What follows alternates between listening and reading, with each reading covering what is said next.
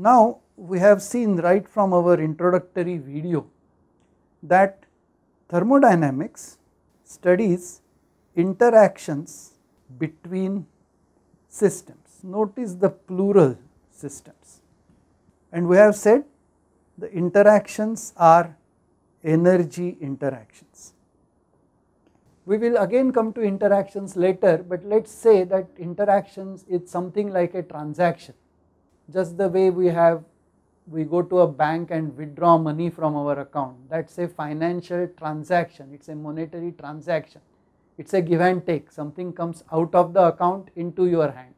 Or if you deposit money something from your pocket goes into your bank in your account. So interaction is like a transaction. That was a monetary interaction. Here we will be talking about energy interactions. And because interactions involves at least two systems, interaction is always between two systems and is across the boundary separating them.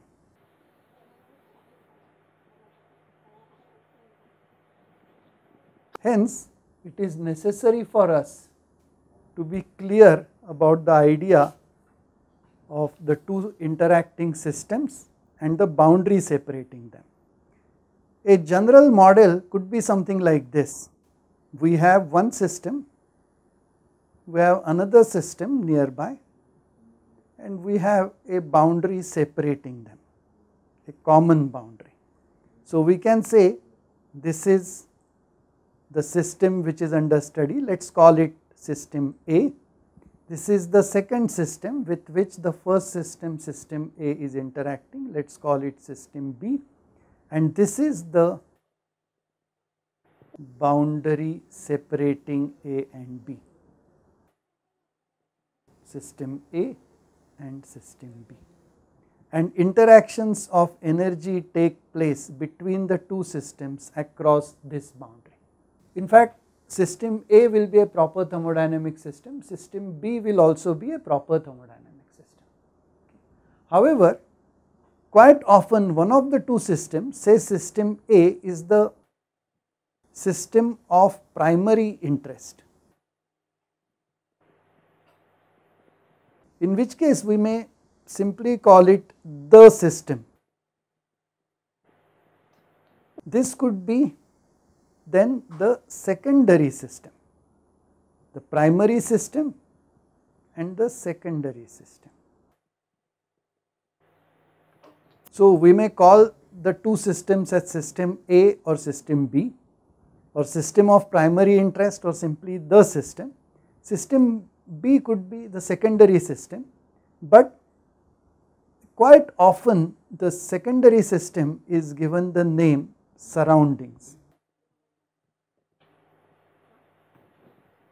Remember that although quite often we will be talking of the system and its surroundings, remember that the surroundings is also a thermodynamic system in its own right it should also be a properly defined thermodynamic system. It should also have all its boundaries properly defined. Okay. However, quite often we come across situations where our primary system is of importance to us, we call it the system, whereas the real surroundings, say suppose I am the system, the surrounding is this room, in particular the air in this room. So that air I can consider it a large system and during my interaction with the air in the few minutes that I am going to sit here and talk and make some gestures and write something, the situation in that air is not going to significantly change. It will change, it will, there will be some effect, but that it will be a minor effect. Such a surrounding system is quite often known as an environment. These are just the different words used in the textbooks of thermodynamics and when we discuss thermodynamics. But we should remember that the surroundings or the environment is as much a properly defined thermodynamic system as our system itself or the primary system itself. we can stop here.